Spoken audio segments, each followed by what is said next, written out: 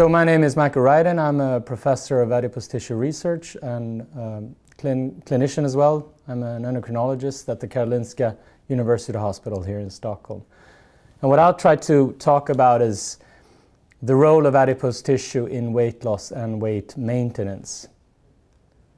So the following questions will be covered in my talk. What role does adipose tissue play in controlling weight?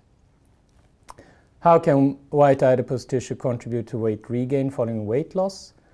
And what is the impact of genetic variations on obesity and regional fat distribution?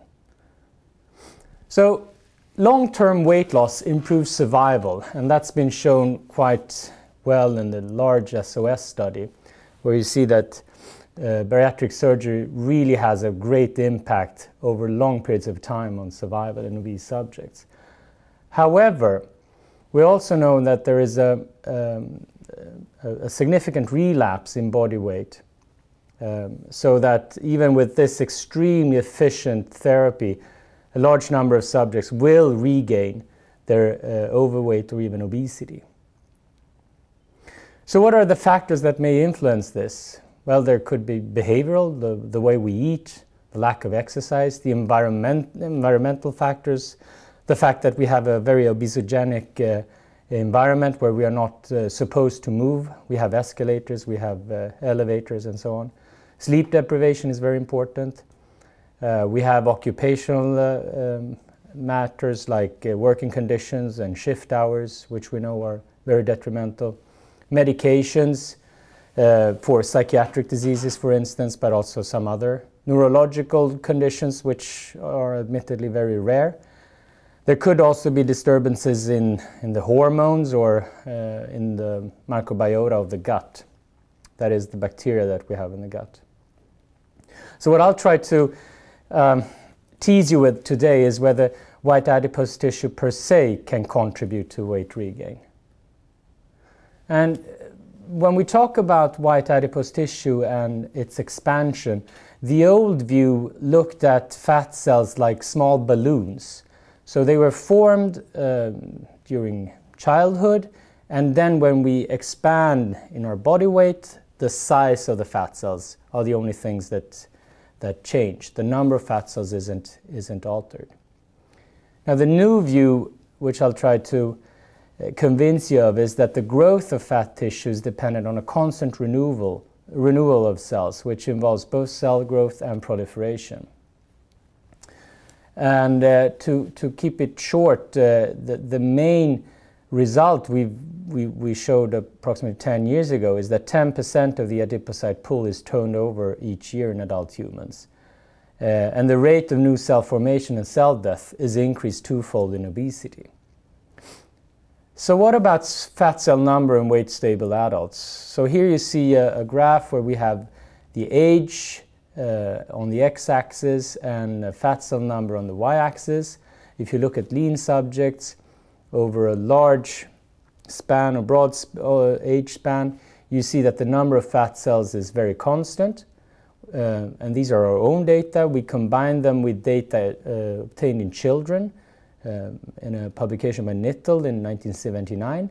And you see here that the number of fat cells is very low when you're a small child, but it increases rapidly in adolescence and reaches a plateau somewhere around 18 or 20 years of age. Now, what about obese subjects? Well, if you're weight stable as an obese, you have the same number of fat cells over, over uh, a broad age span. But as you can see, the number of fat cells is doubled compared to lean subjects. And if you combine our data with the, the data from Knittle, you see that the number of fat cells is increased in obese children very early, and they stay higher than the lean, uh, over the lean children over the entire uh, childhood and adolescence period. So, can adipocyte number be altered in adult humans? Um, here we show data on uh, subjects undergoing bariatric surgery. You see that the fat cell volume is very, very large before bariatric surgery, and two years after, the fat cell volume is uh, decrease significantly. However, the number of fat cells is not all altered at all. So that means that the number of fat cells can increase but not decrease. And once they have been formed, a new set point is set. And we've shown this not only in obesity uh, following pronounced weight loss, but also in cancer cachexia, which is a form of involuntary weight loss. What about uh, if you increase in weight when you're an adult? So here we have uh, unpublished data where we uh, um, gathered 30 subjects that we have followed for 15 years, which is an extremely long time uh, uh, in this uh, setting. And what we did was to divide them into weight stable and weight gainers. So as you see the weight stable subjects before in white and after, 15 years after in black, the weight stable subjects did not uh, alter their BMI to any significant degree while the weight gainers increased from a normal weight uh, almost up to an obese state. And this was clearly not dependent on increased muscle mass, it was solely dependent on increased fat mass, as you see here where the weight stable uh, subjects have exactly the same amount of uh, body fat, while the weight gainers have increased considerably in body fat. And, and these results are also corroborated by an eight-week overfeeding study in man uh, published by, by Mike Jensen's group uh, at the Mayo Clinic in Rochester. So this implies that fat cell number can increase but not decrease. And once they have been formed, a new set point is set. And that is more or less like these. Um, I, I, would take the analogy of the plastic straps that you use around your trash cans. You can only pull them in one direction. Uh, and it's similar with the number of fat cells. And I think that's very important in understanding why it's so difficult later in life to, to lose weight if you've ever become obese. So are there other adipose tissue related factors that may influence the difficulties in maintaining weight loss? Well, white adipose tissue expresses approximately one third of all the genes that we uh, have in our DNA and it secretes over 600 proteins, which we term adipokines. And these adipokines can be released into the circulation and effect, uh, have effects on, on the central nervous system, but they might also affect other peripheral organs like muscle and liver. And obesity leads to changes in the production of these factors, which may cause damage.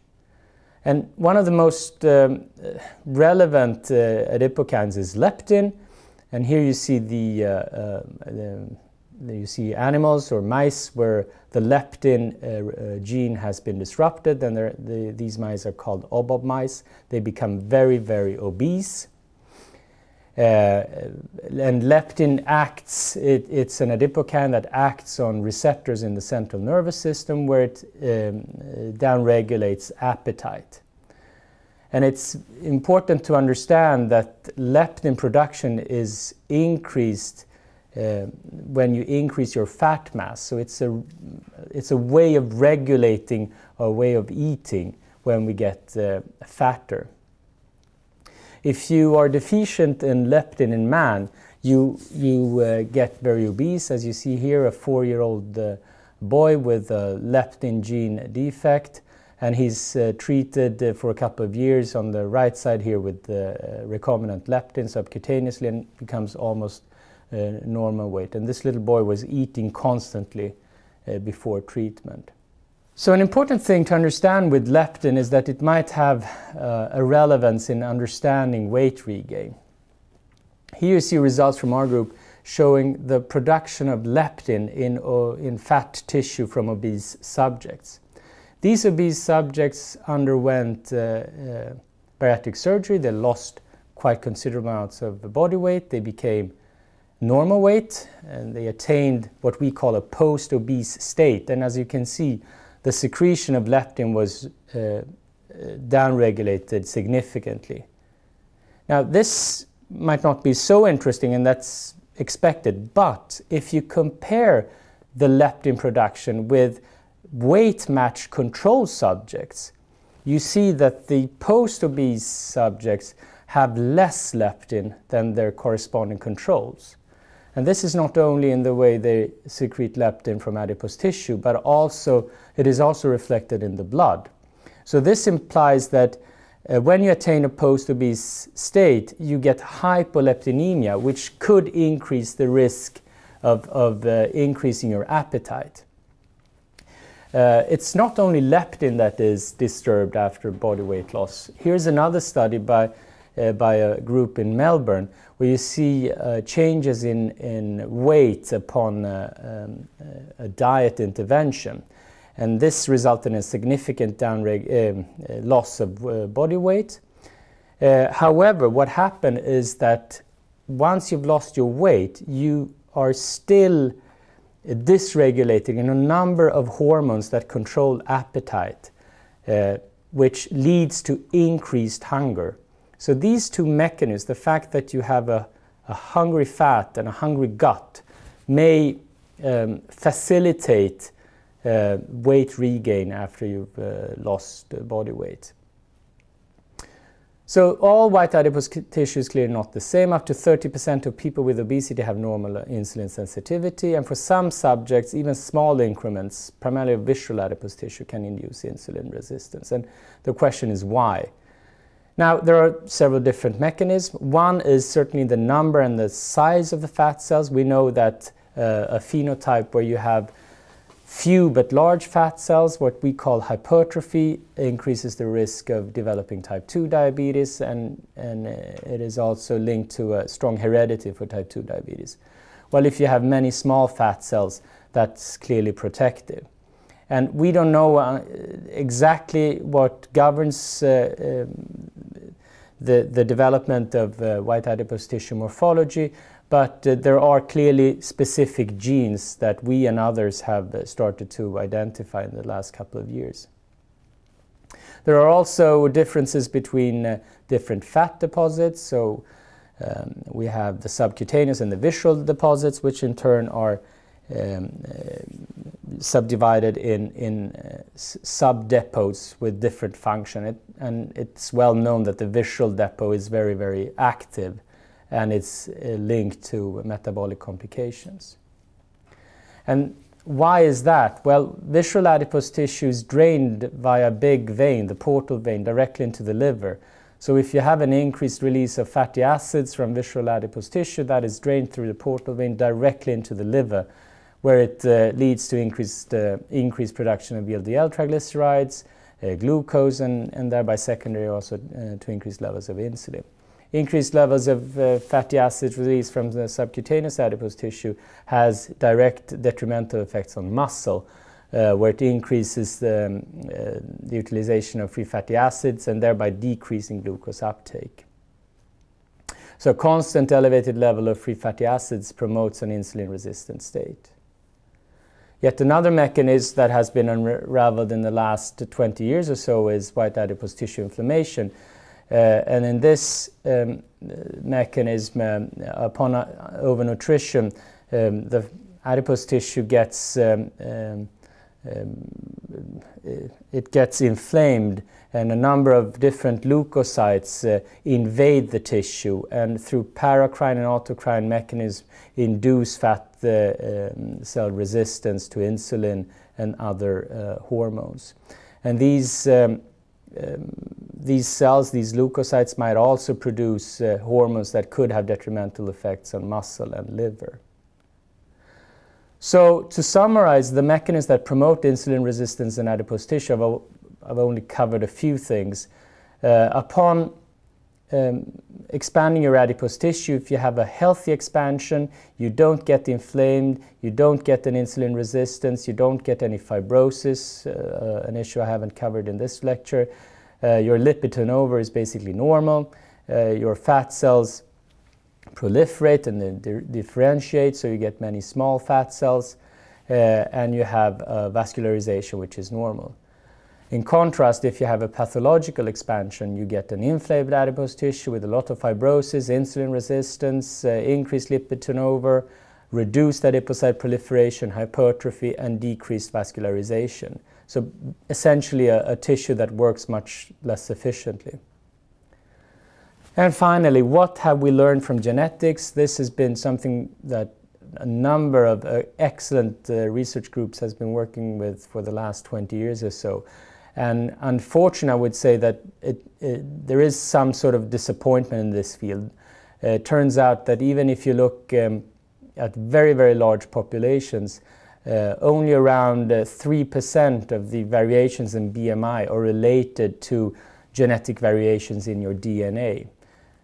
And uh, regarding the um, impact of genetics on, on fat distribution, whether you have more fat in your belly, a visceral fat or subcutaneous fat, the impact of uh, genetics is even less, where it only explains uh, approximately 1.5% of the variations. So genetics has a limited impact on common forms of obesity. So to summarize, fat mass is determined by the size and number of adipocytes. Um, fat is in a highly dynamic state. In weight-stable subjects, the adipocyte number is set in adulthood. Fat cell formation is a constant process that is increased by weight gain. Fat cell number can increase but not decrease. And one could speculate whether this, together with dysregulated hormones like leptin, for instance, after you lost your weight, uh, could explain part of the difficulties in maintaining long-term weight loss and the fact that we have these yo-yo um, uh, weight gainers. Um, white adipose tissue phenotypes associated with insulin resistance and other complications include hypertrophy, low-grade inflammation, fibrosis, altered lipid turnover, and increased visceral fat mass. Uh, and the primary mechanism in, in fat that promote these different phenotypes are currently being elucidated by many, many groups. And finally, genetics has a rather limited impact on common forms of obesity. Thanks.